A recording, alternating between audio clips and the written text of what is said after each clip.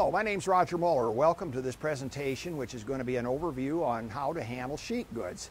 It's going to be my favorite workflow. And we're going to talk a little bit about transporting the goods. We're going to talk about a throwaway discardable stand that can be used as a work table for positioning them while we cut them to final dimension. We're going to cut using one of the finest systems that's out there, the Festool plunge cut saw. It's a guide rail, it's a saw that's guided by a rail and it's a non-skid rail so that as you move over the material, you can do a fine job of cutting and get the accuracy, precision, etc. that you want. Lastly, we're going to talk about assembling some pieces. And the finished product is going to be an L-shaped piece that is four feet long and nine and a half inches in each diameter. We're just going to do a rough joint to show you the capabilities and you'll quickly um, catch on to how this could translate into even fine furniture. Kreg jig, of course, is one of the finest bargains in a woodworking store. A step drill, a means of indexing or aligning the step drill with the jig itself, and then clamps to put things together. Here's the normal clamp that comes with it that's used for framework. We're going to talk a lot about using the right angle clamp. It has a washer on only one side and it has a neck to go into the pocket screw for aid in alignment and clamping. As far as talking about transporting materials, make sure that you do this with using a little bit of common sense. Don't try putting it on the roof of a car.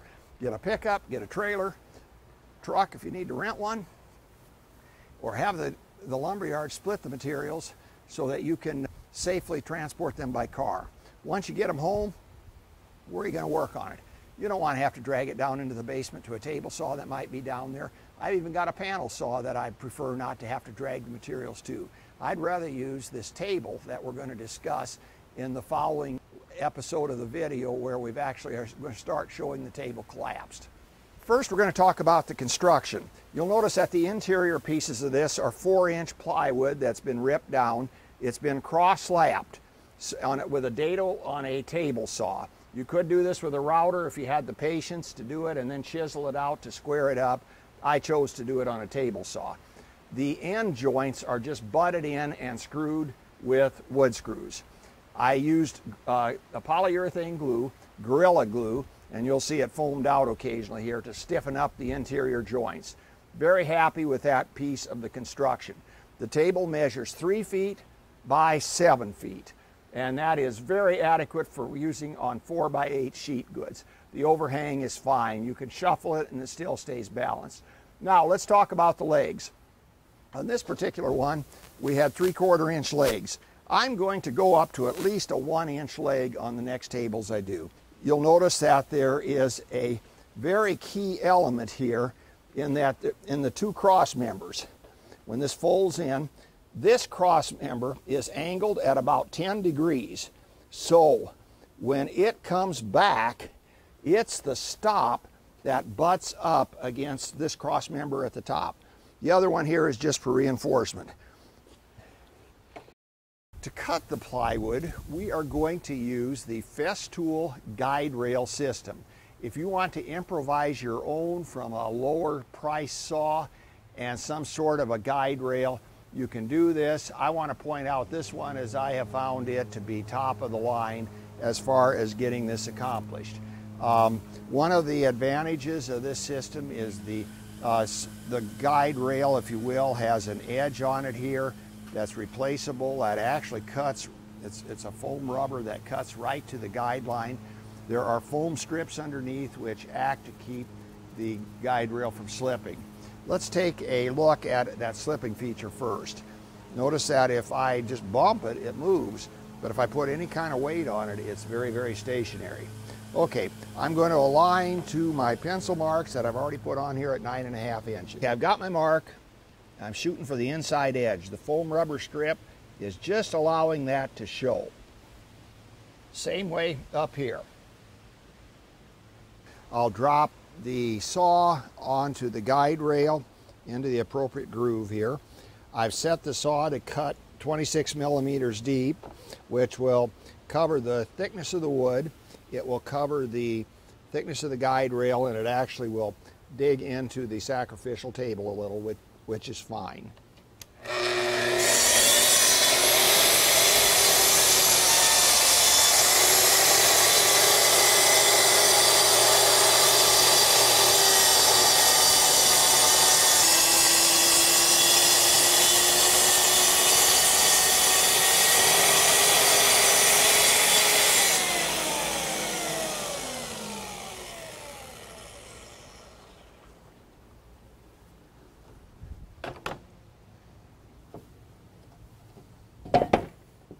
There I have a very nice edge on both sides.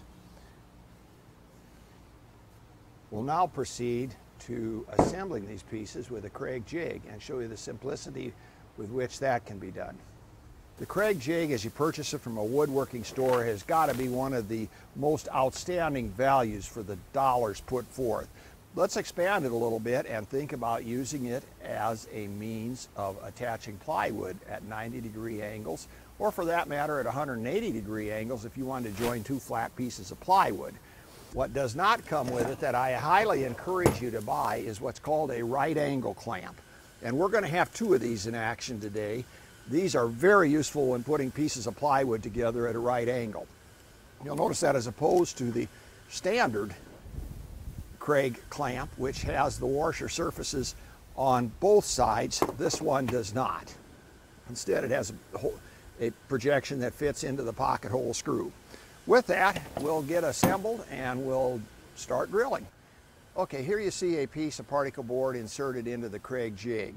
You'll notice that it's clamped. The clamp was adjusted off camera for three quarter inch material. I have set my drill up, my step drill, to also be used for three quarter inch material. There's a stop on here that I'll drill down to. I insert it into the sleeve. Notice I'm at, a, at the appropriate angle.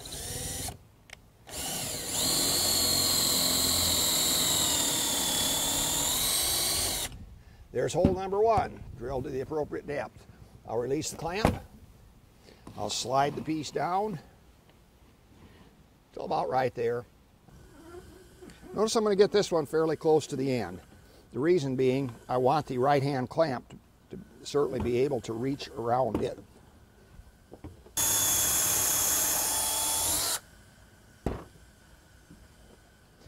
So, we're done. A couple of minutes, we've got the five holes uh, drilled, drilled with a great deal of precision.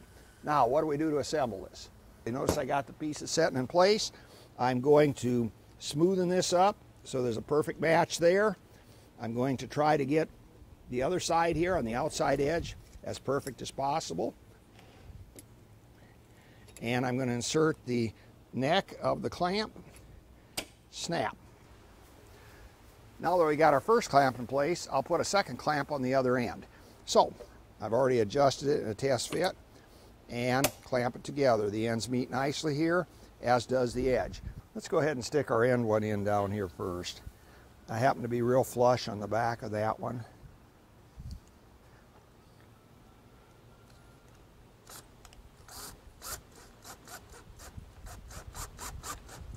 I've had my finger on the back side here and it's good and flush. While we're at it, let's put one in the very end loosen the clamp. I got my finger checking everything out. Set the screw in place. I'm actually going to take this one loose. Nothing says I have to keep it since I've got it supported down there on that end. And I'm going to work in getting my warp taken out. There's my hole right there. I've got very good alignment. I'm going to put that one in.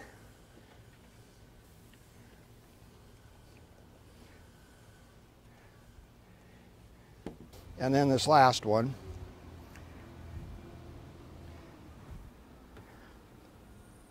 Again, I'm using my thumb on my left hand.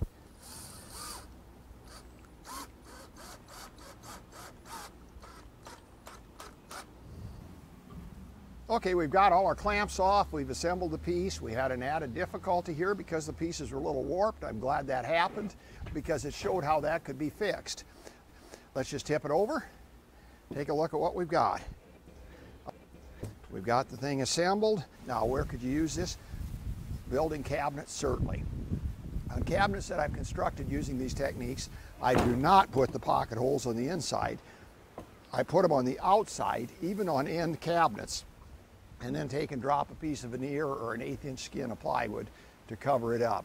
In a very few minutes here, we have taken you through our workflow for handling plywood. We've talked about transporting it. We've talked about this uh, table that can be uh, thrown after a year or two that is very useful for a wide variety of purposes.